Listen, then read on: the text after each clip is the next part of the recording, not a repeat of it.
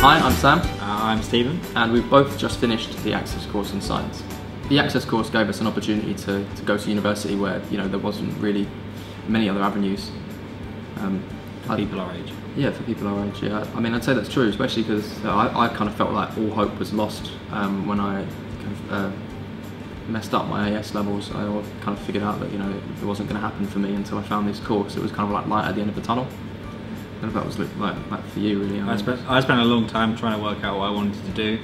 Um, and was just sort of wasting my life away a little bit. And then when I came, when when then all of a sudden it just sort of just, everything sort of aligned. And as soon as I actually got the opportunity to go on the Access course, it just gave you an objective on something you wanted to achieve, and actually get to your next step. And then once you're on that path, it's a lot easier to achieve what you want, what, you, what your end goal is.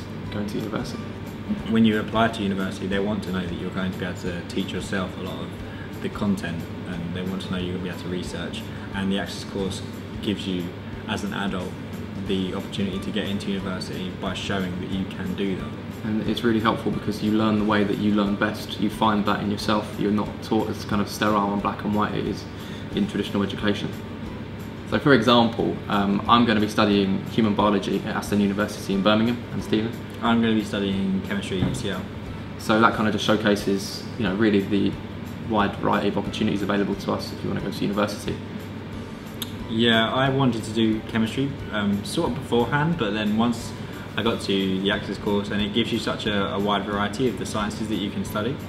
Um, it just meant that it, sh it shored up what I wanted to do. I definitely wanted to do chemistry, I definitely wanted to get into chemistry, and I was able to reformat my course so I could do more chemistry, which was really helpful.